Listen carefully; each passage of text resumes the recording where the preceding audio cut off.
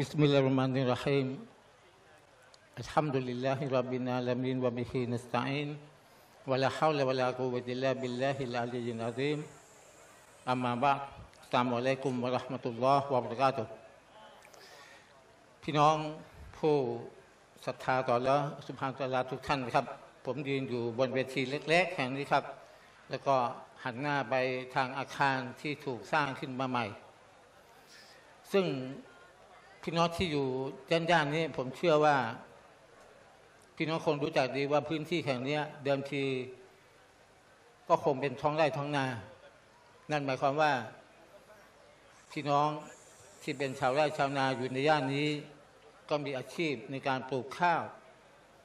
แล้วข้าวมันก็เติบโตขึ้นมาจนกระทั่งเราได้เกี่ยว เก็บเกี่ยวและเราได้รับประทาน เป็นอาหาร ชั้นดีสำหรับเราที่เราขาดข้าวไม่ได้ ถึงแม้ว่าจะทานโรตีถึงแม้ว่าจะทานขนมปังแต่ยังไงมันก็สู้ข้าวไม่ได้ นั่นคือดั้งเดิมของของพื้นที่ตรงเนี้ยที่เป็นท้องไร่ท้องนา แต่วันนี้รวงข้าวหายไปแล้ว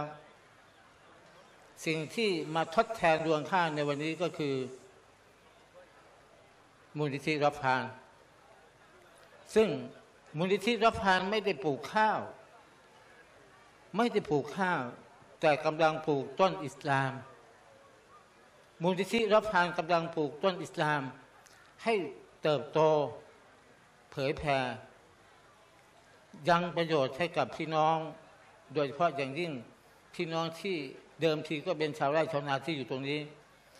เพราะฉะนั้นนี่คือสิ่งที่ พี่น้องย่านนี้น่าที่จะได้ภูมิใจ และก็พี่น้องที่มีส่วนเกี่ยวข้อง ไม่ว่าจะเป็นใครใด ๆ ทั้งสิ้นครับที่มีส่วนเกี่ยวข้อง กับกิจกรรมกิจการงานของมูลนิธิรับพานน่าจะได้ภูมิใจไปพร้อม ๆ กันด้วย และน่าที่จะได้ช่วยสนับสนุน ให้มูลนิธิรับพานแห่งนี้ได้ปลูกต้นอิสลาม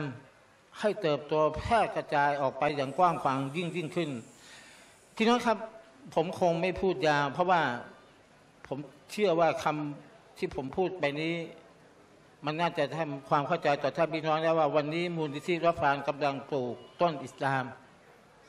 พี่น้องก็มีหน้าที่ในการที่จะช่วยกันรดน้ำใส่ปุ๋ยพรวนดิน ให้ต้นอิสลามแห่งมูลนิธิรับฟานแห่งนี้ได้เจริญเติบโตยิ่งยิ่งขึ้น และพี่น้องผมมีคนบอกกับผมว่า รับพานแปลว่าความสุข ผมจึงอยากจะฝากพี่น้องด้วยคำพูดของบรรพชนในบางท่านครับ ท่านอิมามชาฟีอีรอฮิมุลลอท่านบอกว่า ผู้ใดที่แสวงหาภาคผลของชีวิตในดุนยา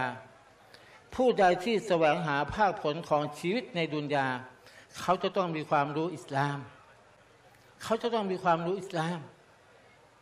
เพราะฉะนั้นมูลนิธิรับพานเนี่ยกำลังให้ความรู้อิสลามกับพี่น้องที่อยู่ในดุนยา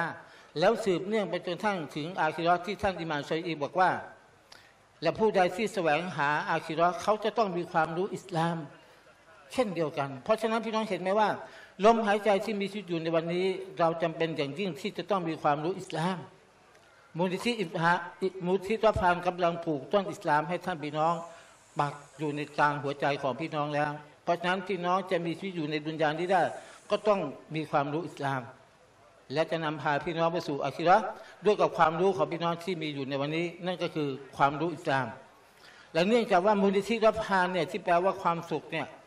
ผมจึงขอนำเอาคำพูดที่เกี่ยวข้องกับคำว่าความสุขเนี่ยมาฝากพี่น้องอยู่สองประการด้วยกัน ประการแรกครับจากท่านมูอัสบินจาบันท่านมูอัสบินจาบันเนี่ยท่านบอกว่า แท้จริงผู้ศรัทธานั้นเนี่ยจิตใจของเขายังไม่สงบ และยังไม่เป็นสุขรับพานแปลว่าความสุข แต่ท่านมูอัสบินจาบันบอกว่า แท้จริงผู้ศรัทธานั้นเนี่ยจิตใจของเขายังไม่สงบ และยังไม่เป็นสุข จนกว่าสะพานนรกจหันนำเนี่ยจะอยู่เบื้องหลังของเขา จนกว่าสะพานนรกจะหันนำจะอยู่เบื้องหลังของเขา นั่นคือคนที่มีความสุข เนื่องจากว่าเขาได้ก้ามก้าวข้ามผ่านนรกจะหันนำไปแล้ว ไปสู่สวรรค์ขอแล้วสุบาตะอาลา นั่นคือคนที่มีความสุขอย่างแท้จริง และพี่ครับสุดท้ายปลายทางตรงนี้ในช่วงเวลาที่ผมอยากจะฝากไว้กับคำพูดของท่าน ท่านอบูอุตัยยะอันมับบุ ท่านถูกถามว่าใครคือคนที่มีความสุขที่สุดพี่น้องครับตอบได้ไหมถ้าเราเป็นคนที่ถูกถามว่าใครคือคนที่มีความสุขที่สุด พี่น้องจะตอบจะตอบกับคนที่ถามเราว่ายังไง แต่พี่น้องฟังคำตอบของท่านอบูอุตยะครับ ท่านบอกว่าคนที่มีความสุขที่สุด คือคนที่เมื่อร่างของเขาถูกฝังอยู่ในดิน เมื่อร่างของเขาถูกฝังอยู่ในดิน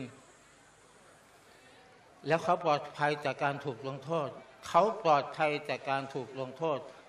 รอแต่เพียงรางวัลที่เขาจะได้รับแต่เพียงเท่านั้นเอง นั่นคือคนที่มีความสุขที่สุดจากคำตอบของท่านอบูอุตัยยะคนที่มีความสุขที่สุดก็คือ เมื่อร่างของเขาถูกฝังอยู่ในดินพี่น้องครับ ร่างของเราทุกคนเช่นเดียวกันครับ จะต้องถูกฝังอยู่ในดิน แล้วเราจะมีความสุขไหมคำตอบสุดท้ายก็คือ เมื่อเขาปลอดภัยจากการถูกลงโทษ และรอรับเพียง รางวัลของการตอบแทนเท่านั้น นี่คือสิ่งที่ผมปรารถนาที่จะให้เกิดขึ้นกับตัวผมเอง และก็เกิดขึ้นกับพี่น้องทุกท่าน ครับฝากมูลที่รับพานให้เป็นมูลนิธิที่สร้างความสุขให้กับเราประชาชาติอิสลามบนหน้าแผ่นดินนี้ณที่นี่โดยทั่วกันทุกคนครับวะบิลลาตฟิกวันติดายะสามอะลัยกุมวะราะห์มะตุลลอฮ์วะบะเราะกาตุ